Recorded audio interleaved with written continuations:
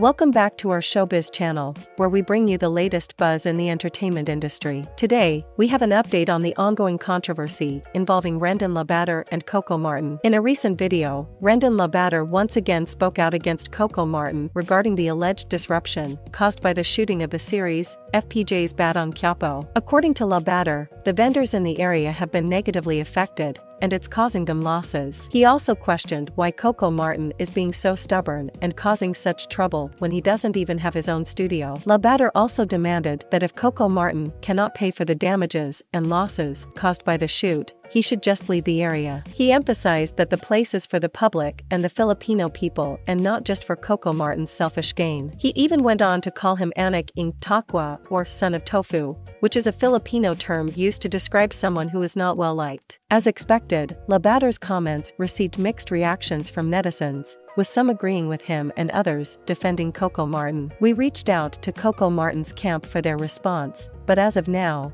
they have not issued any statement regarding the matter. That's it for today's update on the Rendon Labador and Coco Martin controversy. What do you think of Labador's statements? Do you agree or disagree? Let us know in the comments below. Don't forget to like and subscribe to our channel for more showbiz updates.